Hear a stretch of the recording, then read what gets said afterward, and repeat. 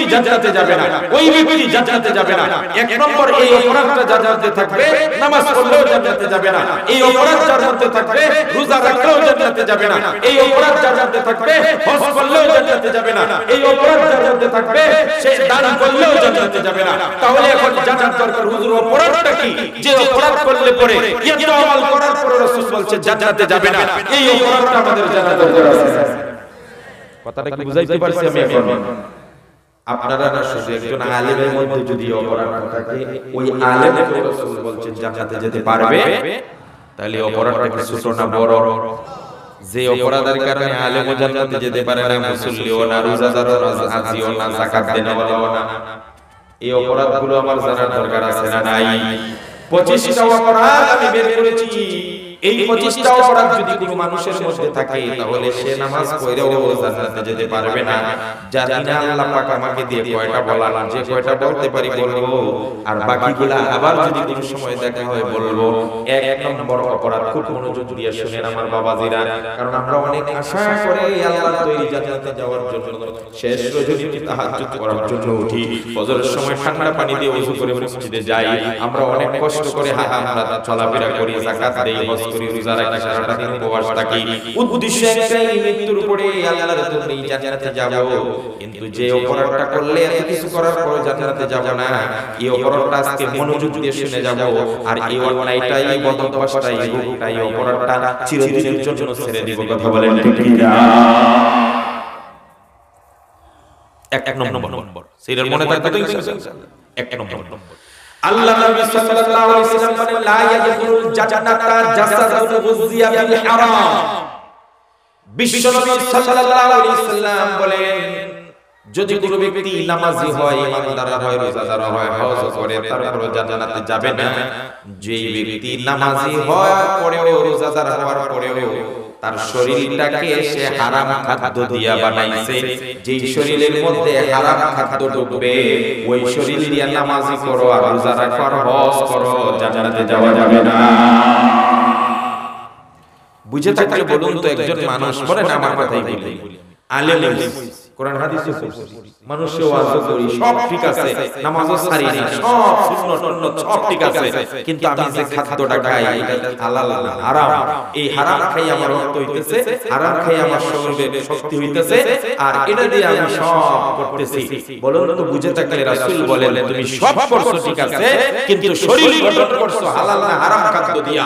আর যেই শরীর হারাম খাদ্য দিয়ে গঠিত হবে লা ইয়াদখুলুল জান্নাতা ফুসিয়া বিল হারাম হারাম খাদ্য দ্বারা গঠিত শরীর কষ্টিকালে জান্নাতে যাবে। বুঝে থাকলে বলুন, নামাজি ও জাহান্নামে যাবে কোন কারণে? যদি নামাজের খাদ্যটা হালাল হয় না হারাম হয়? কথা বুঝেই হারাম খাদ্য খায়, নামাজ পড়ে জান্নাতে যাবে। হারাম খাদ্য খায়, হজ করে এসে পাঁচবার জান্নাতে যাবে। হারাম খাদ্য খায় যাকাত দেয় প্রতি বছর জান্নাতে যাবে। হারাম খাদ্য খায়, প্রতি বছর জান্নাতে যাবে হারাম খাদ্য খায় পাঁচ ওয়াক্ত নামাজ পড়ে হারাম খাদ্য খায় চাষা অবিন তাহাজ্জুদ মিস দেয় না হারাম খাদ্য খায় নফল দেও ছাড়ে না সুন্নাত ছাড়ে না তেলাওয়াত ছাড়ে না জিকির ছাড়ে না সব ঠিক আছে কিন্তু হারাম খাদ্য খায় জান্নাতে যাবে কথা কয় না যাবে এবার আমাদের সমাজে এই কোয়ালিটির মানুষের অভাব নাই মানুষ মনে করে যা মনে চাই তাই তো করতেছি মনে করে না ওই একবার কথা মনে হয়েছে এগুলোকে প্রতি বছর চুরি করে আইনা গরু জবর দেয় কুরবানি দেয়। তাহলে কলে কিলাই তুই গরু জবর করতেছিস ঠিক আছে। চুরি করে আইনা কারণ দেখ ক গরু জবর করা আল্লাহর হুকুম। গরু জবর করলে সব হয়। কথা কয় না কাকা? গরু জব কুরবানি দিলে সব হয় না? আর চুরি করলে কি সব হয় না? গুনাহ হয়। গুনাহ। তাহলে আমি গরু আনছি চুরি করে এটা হচ্ছে গুনাহ। আর কুরবানি দিছি আল্লাহর জন্য এটা হচ্ছে সওয়াব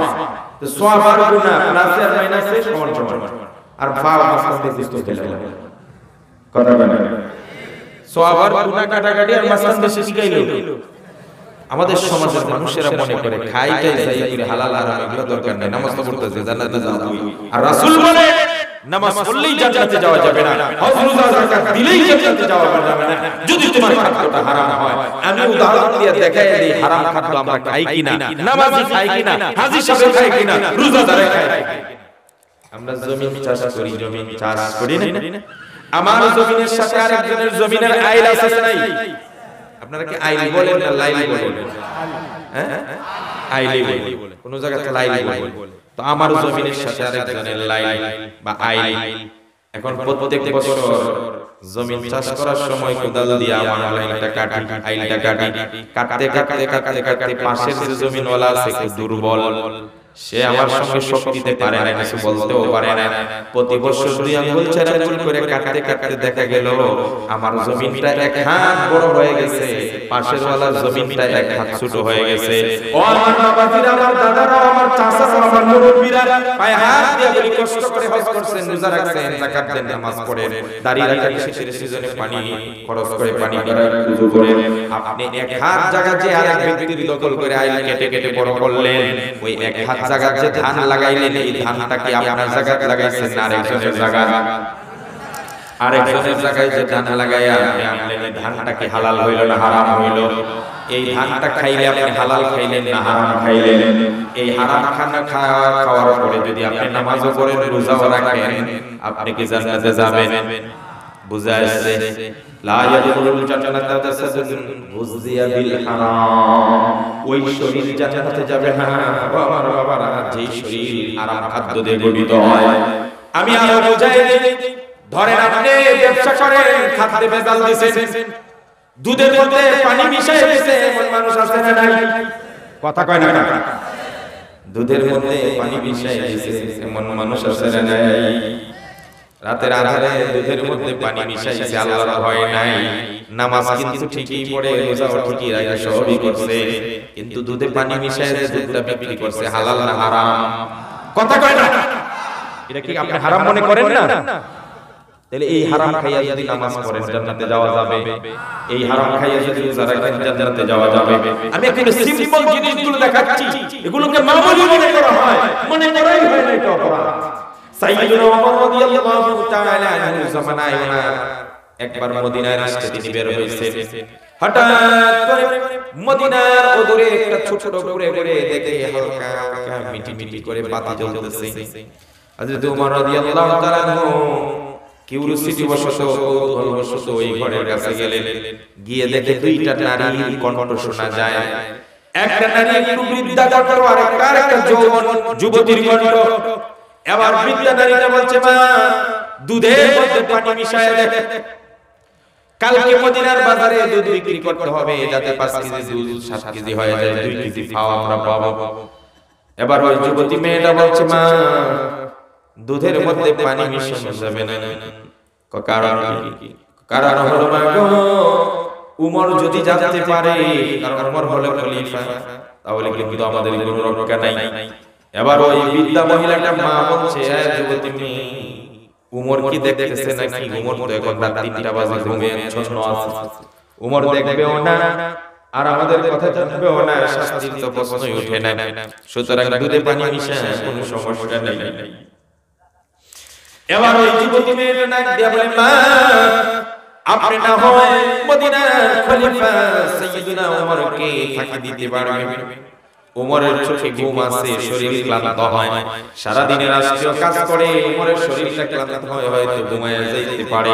উমরের চোখ বন্ধ হতে পারে, উমর ঘুমাইতে পারে। কিন্তু মা গো, আমার আল্লাহ তো ঘুমায় না, উমরের আল্লাহ তো ঘুমে চোখে ঘুম নাই। উমরের আল্লাহ কোনো ক্লান্তি নাই, কোনো ঘুমের প্রয়োজন নাই, নিদ্রাও নাই, তন্দ্রাও নাই। আয়াতুল কুরসির মধ্যে আল্লাহ রাব্বুল আলামিন বলেন, আল্লাহু লা ইলাহা ইল্লা হুয়াল হাইয়ুল কাইয়্যুম লা তাখুযুহু সিনাতুন ওয়ালা